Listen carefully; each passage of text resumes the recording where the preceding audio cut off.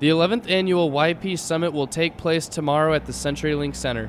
Those attending will hear from renowned keynote speakers Josh Linkner and Randi Zuckerberg.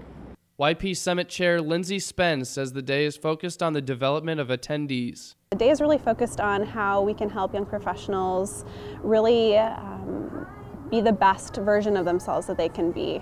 The event runs from 7:30 a.m. to 4 p.m. and tickets cost $150. So what are ticket holders getting for their money?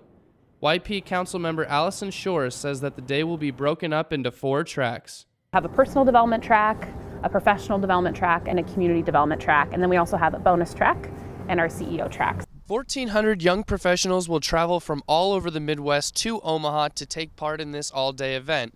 And Spence says attendees will get out of it what they put in. You can come come to the summit and maybe be a little introverted or, or shy and just come for a great day of engaging and, and, learning and kind of moments of inspiration. Or you can come and meet tons of new friends. The theme for this year's summit is Uncharted, and the council is hoping that summiteers will find ways to impact our community throughout the day.